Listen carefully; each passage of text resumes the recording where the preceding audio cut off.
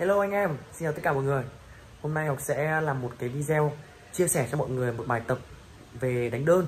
Không biết là có rất nhiều anh em thích đánh đơn đúng không ạ? Anh em phong trào rất thích biết thích đánh đơn. Thì hôm nay Học uh, à, chia sẻ một cái bài tập mà Học hay tập để đánh đơn đấy. Thì à, uh, Học sẽ tập mẫu cho mọi người xem rồi Học sẽ phân tích, chia sẻ luôn, Học nói luôn trong video. Thì mọi người cùng xem và tập luyện theo nhá. Thì mọi người thấy hay thì hãy nhớ đăng ký kênh Nhớ nhá, ấn đăng ký kênh youtube để đón xem nhiều video hướng dẫn cũng như là nhiều video cầu lông hay. Mọi người nhá.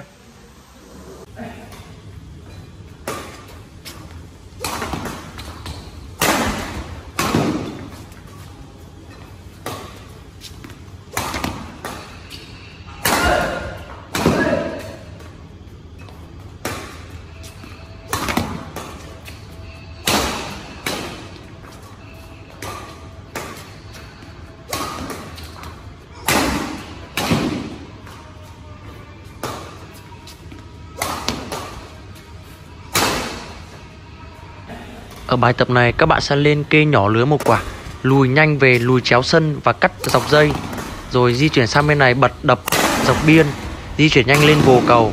Nhớ nhá Một quả kê lưới này, Lùi về chéo sân, cắt dọc dây này, dọc biên. Đấy, Bật sang bên này, đập luôn, Đập dọc biên, Rồi di chuyển lên vồ cầu. Bắt lưới thì kê cao lên, Bắt cao tay lên, Nhớ cao tay lên, Chém thì siết nhanh xuống, Siết nhanh xuống bật đập dọc biên ra biên, rồi di chuyển nhanh lên vô. Cường độ vận động thì các bạn sẽ tập một tổ 2 giây, mỗi giây các bạn xếp 20 quả cầu, và các bạn sẽ tập từ 3 đến 5 tổ như vậy. Nhớ là phải tập đều, tập kiên trì ngày qua ngày, nhá.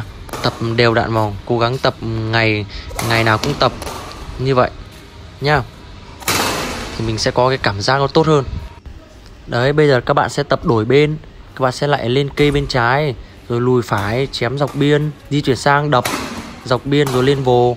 Đấy các bạn đổi ngược lại bên đổi lại uh, ngược lại.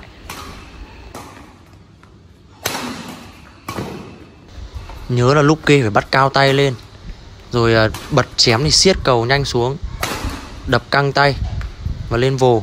Kê bắt cao này lùi siết nhanh xuống để quả cầu nó bay nhanh xuống. Đập 70% sức 80% sức lên vồ. Nhớ nhá. Siết nhanh xuống Và đập 80% sức. Lên vồ nhanh.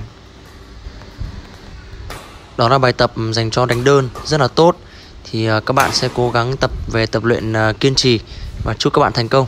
Các bạn nhớ đăng ký kênh youtube nhá.